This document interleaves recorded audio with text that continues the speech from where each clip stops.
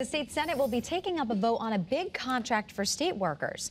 Now, this deal provides bonuses and raises for more than 40,000 state employees. But not everyone is on board. Channel 3 Eyewitnesses reporter Audrey Russo is live at the state capitol this morning.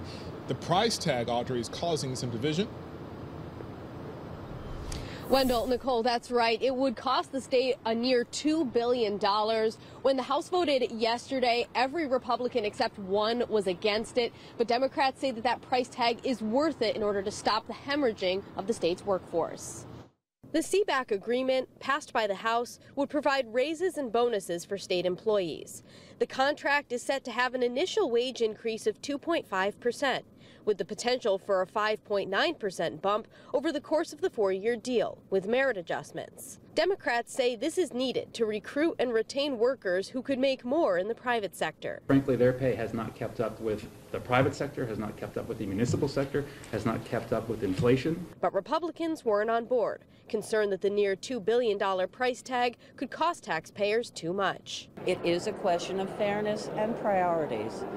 We have residents struggling.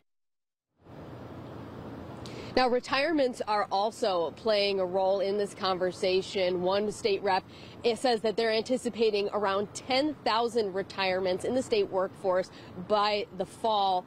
Now, again, this is an ongoing situation. The vote moves to the state Senate where they're expected to make a decision later today.